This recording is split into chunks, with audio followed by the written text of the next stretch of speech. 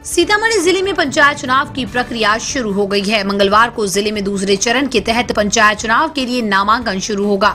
चुनाव को शांतिपूर्ण तरीके से कराने और चुनाव में आने वाली बाधाओं से कैसे निपटे, इसके लिए डुमरा प्रखंड में स्थित निखिल श्यामा डीएवी स्कूल में ज़िले के सभी पीठासीन पदाधिकारियों को प्रशिक्षण दिया जा रहा है।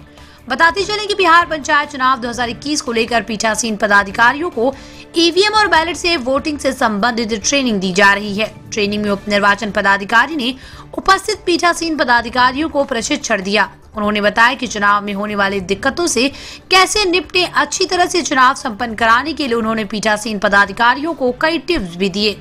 उन्होंने बताया कि किसी भी स्टेट में ईवीएम और बैलेट से एक साथ चुनाव नहीं हुआ है। इस बार ईवीएम और बैलेट पेपर के माध्यम से चुनाव होगा।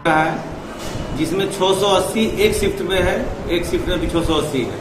दो शिफ्ट में ट्रेनिंग है।